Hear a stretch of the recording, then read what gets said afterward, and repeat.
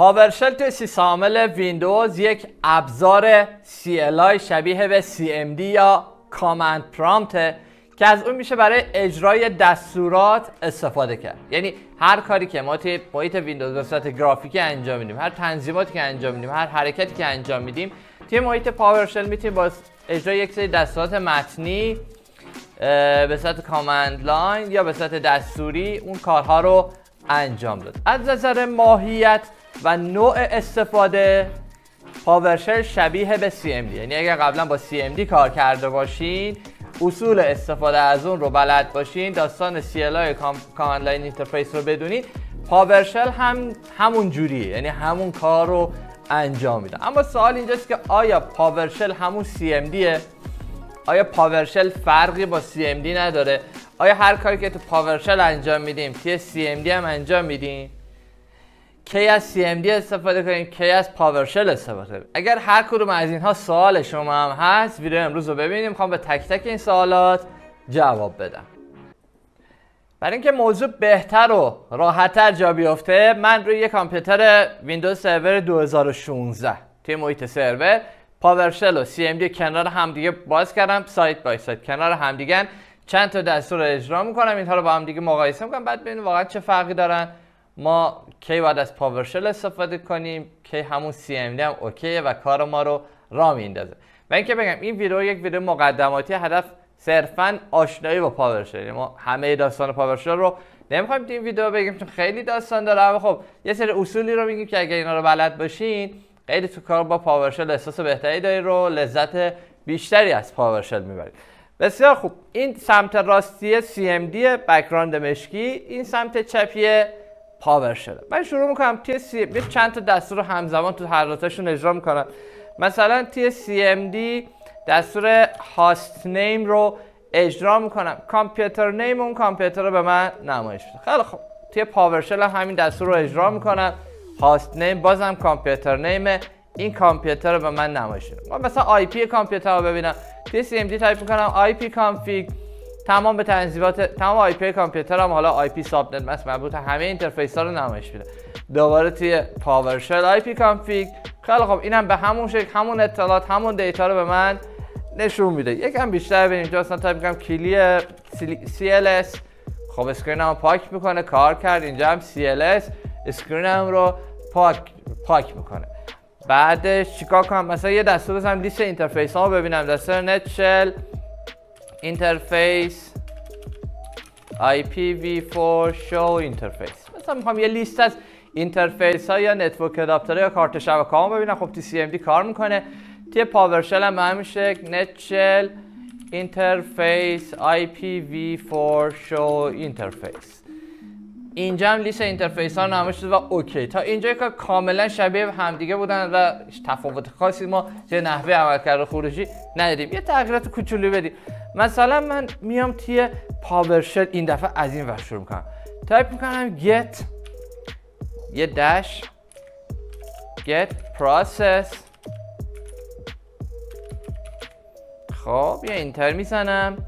یه لیست از process های در حال اجرای کامپیوتر به من نشون میده. توی CMD میگم get process. enter. و خطا میده که آقا من این دستور رو نشناختم. این دستور من شناخته شده این recognize نکردم مثلا نمی‌دونم چیه.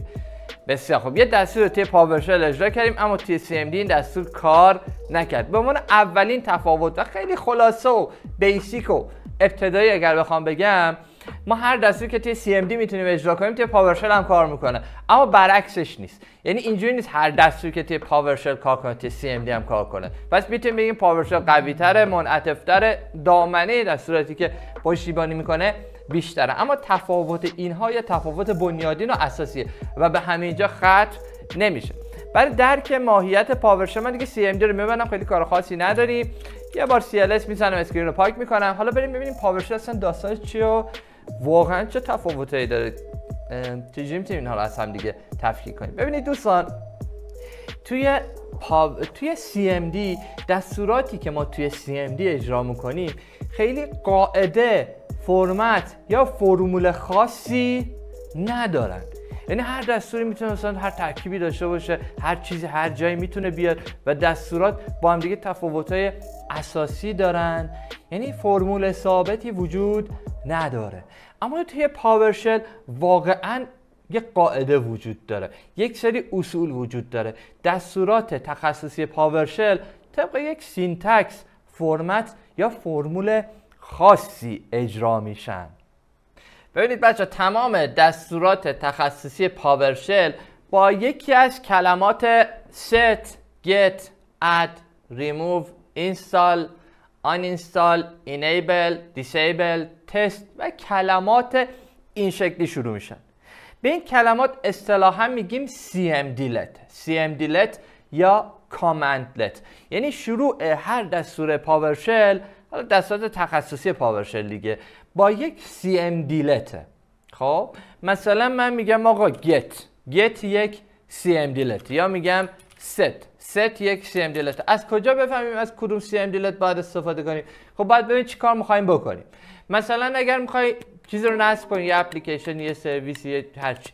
یه چیزی می‌خوای نصب کنی CMDLet اینستاله اگر می‌خوای چیزی رو پاک کنی CMDLet آن اینستاله اگر می‌خوای سرویس یا اپلیکیشنی رو فعال یا enable کنی هم تو که از اسمش مشخصه CMDLet enable اگر بخوای غیر فعال کنی CMDLet disable اگر بخوای چیز تست کنی خب CMDLet test اگر بخوای مثلا راجع به یه سرویسی اپلیکیشنی دیتایی به دست بری مثلا به اطلاعاتش رو ببینی CMDLet get ه به همین ترتیب ما CMDLet رو در واقع بر اساس نیازمون مشخص کنیم چی کار می‌خوام بکنم؟ من الان دستوری که دارم اجرا می‌کنم هدفم چیه؟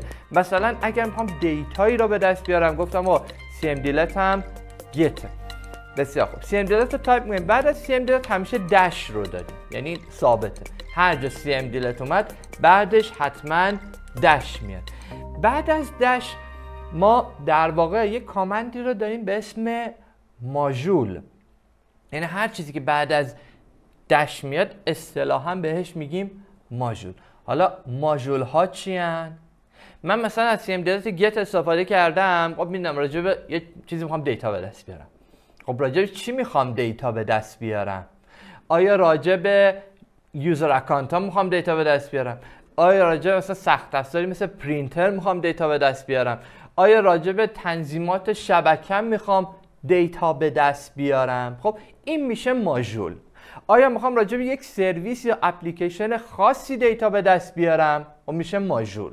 خب مثلا من می‌خوام از درباره process های در حال اجرام دیتا به دست بیارم. خب ما دیتا به دست بیارم سی هم گت میشه. بعدش ماژول هم میشه چی؟ چی می‌خوام دیتا به دست بیارم؟ process ها تایپ می‌کنم process enter get process. get cmdlet process ماژوله مثلا می‌خوام راجع به role ها و feature هایی که میشه روی ویندوز نصب کرد یا نصب شدن دیتا به دست بیارم. cmdlet هم میشه get ماژول هم میشه Windows feature enter بزنم. یه پردازش انجام میده. یک لیست از تمام role ها و feature هایی که روی ویندوز وجود دارن به همراه اطلاعاتی درباره اینکه مثلا کدوم نصب شده کدوم نصب شده کدوم پکیجش هست کدوم میشه نصب کرد کدوم نمیشه نصب کرد میاد به من چیکار می‌کنه؟ نمایش میده. الان این لیست رو آورد نشون داد. حالا بچههایی که با ویندوز سرور و server manager رو اینو کار کردن اینا همشون لیست role ها و feature ان یعنی توی server manager که میری یه role ی رو نصب کنی اینا همه اونجا میان. خب؟ بعد قشنگیش اینه که اسم ماژول های تک تکشون رو هم جلوشون آورده خب؟ همه رو ماژول هاشون هست. یعنی نیاز نیست شما ماژول رو بهت حفظ کنید مثلا درباره درباره دی ان سرور یا آقا اسم فیچری که حالا تو توی سرور منیجر می‌بینی دی ان سروره اسم ماژولش دی ان یعنی اگه می‌خوای نصب کنی ماژولش میشه چی؟ دی حالا من مثلا می‌خوام دی رو نصب کنم. خب اول ترکیب CMDLet بعدش یه dash ماژول. ماژول هم که مشخص شد DNS CMDLet هم چیه؟ خب می‌خوام چیکار کنم؟ می‌خوام DNS رو نصب کنم دیگه. CMDLet هم چیه؟ CMDLet هم install خب install Windows feature بعدش اسم feature DNS تمام. enter رو می‌زنم میره توی فاز نصب و DNS رو سرویس DNS رو روی کامپیوتر سروری من نصب می‌کنم. حالا بعد از اینکه این نصب من اگه بخوام پاکش کنم چیکار می‌کنم؟ از چه CMDLet و ماژولی استفاده می‌کنم طبیعتا CMDLet هم میشه uninstall ماژولم Windows feature دی این اسم سرویس هم میشه DNS همون رو تایپ می‌کنم و اجرا و اون سرویس خاص از روی کامپیوتر من پاک میشه. حالا این داره کار نصب رو انجام میده. نصب role ها و سرویس ها یا پاک کردن اونها. یا کلا هر کاری که ما توی سرور انجام میدیم یا کلا توی ویندوز انجام میدیم توی پاورشل خیلی سریع تر یعنی اگه شما پاس این رو برین از توی server manager به صورت گرافیکی انجام بدیم با این سرعت که الان 86 درصدش هم پر شد انجام نمی‌شد. کما اینکه همون اولش load کردن خود server manager هم داستان داره دیگه. اگه اجرا کرده باشیم بعد یه 20 ثانیه هم صبر کنیم و استیبل بشه تا بتون ریسپانس بده بتونید کار خاصی رو باهاش انجام بدیم خب DNS نصب شده. اینجا یه ریپورتی هم دیگه. Success true. یعنی موفق شدم.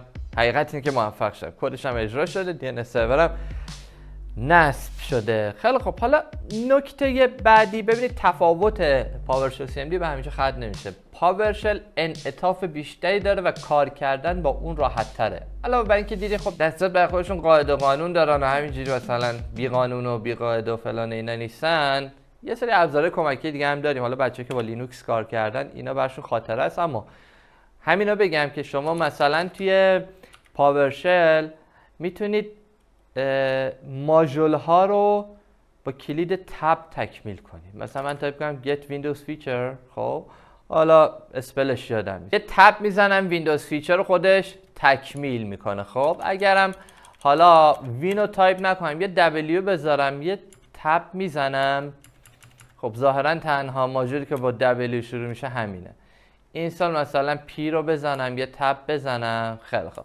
میاد تمام ماژول هایی که با پی شروع میشن یکی یکی میاره. خب بتونید از اینها استفاده کنیم مثلا من پام راجع پرینترام دیتا به دست بیارم. خب دیتا به دست آوردن سی ام دیتش get یه dash می‌ذارم یه p می‌ذارم. مثلا get package get package source get package partition فلان میرم. حالا برای که سریعتر بهش برسن یه pr می‌ذارم. فقط اونه که با pr شروع میشه مثلا get printer اینتر می‌زنم. یک لیست از پرینتر ها رو به من نمایش میده. این پرینتر رو روی کامپیوتر داری و در دست حالا اگه بخوام پرینتر رو اضافه کنم به کامپیوترم خب cmdlet هم میشه میشه add add printer اوکی یا بخوام پاکش کنم میگم ریموف پرینتر به این شکل می‌تونم ازش استفاده کنم. علاوه بر این حالا نمی‌خوام این ویدیو خیلی طولانی بشه پاورشل یک دنیایی از اطلاعات رو داره. اما پاورشل در واقع یک محیطیه یک scripting environment یعنی یک سری ابزارهایی رو به ما در اختیار ما قرار میده. ما می‌تونیم باش کار scripting رو انجام بدیم. یعنی چی؟ من میام که start screen م تایپ کنم پاورشل ISE خب یکی از ابزارهای تکمیلی پاورشل ISE یا Integrated Scripting Environment. محیطیه که مثلا تمام امکانات پاورشل رو به ما میده. گفتم از ابزارهای مربوط به پاورشل. اما خب یه سری امکانات خیلی جذاب و خفن و باحال هم داره که اولا کار کردن با اون رو سریعتر و راحتتر می‌کنه. در ثانی حالا امکانات scripting هم به ما میده. اولا تمام cmdlet ها و ماژولایی که می‌تونیم توی پاورشل اجرا کنیم اینجا هستش. یعنی نمی‌خواد خیلی تلاش کنید اینا رو حفظ کنید. در مثلا اینجا یه چیز تایپ می‌کنم. مثلا get p p, p r میاد خودش ماژولا رو همه رو لیست می‌کنه. یه combo box ی هست. خب می‌تونید اینجا ببینید تک تک انتخاب کنید استفاده کنید. به همین ترتیب هر چقدرم جلو می حالا من چند تا دستور کوتاه پاورشل زدم اما دستورات ممکنه که چندین خط باشن. بهتون کمک می‌کنه یه help قوی داره که می‌تونید ماژولا انتخاب کنید از اونها استفاده کنید. در ثانی اینجا یه option script هست. من این رو در واقع بازش می‌کنم. این فیلد کشویی رو. اینجا شما می‌تونید در واقع script بنویسید. یعنی چی؟ یعنی بیاید چند تا دستور رو پشت سر هم بنویسید. مثلا من تایپ کنم get فرض کن پرینتر این اجرا نمیشه. خب بیا enter می‌زنم میره line دوم. add مثلا پرینتر خب add printer مثلا درایور خب بعدش فرض کن add printer driver خب میرم line بعدی. هیچ کدوم از اینو اجرا نشده. من تازه دارم می‌نویسم. بعدش مثلا میگم install windows feature مثلا DHCP بعدش get مثلا windows feature همین ترتیب. DHCP هرچی. هرچی دوست دارم تایپ می‌کنم. اون دستوراتی که به نوعی شاید وابسته به هم باشن یا من می‌خوام پشت سر هم اینها رو اجرا کنم. همه اینها رو اینجا تایپ می‌کنم.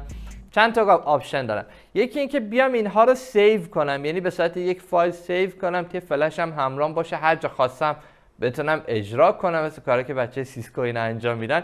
یا اینکه همینجا روی play کلیک کنم میاد اینها رو پشت سر هم خط به خط process می‌کنه. اینها رو اجرا می‌کنه. اصولی ندارن. شاید حالا خطا هم بده.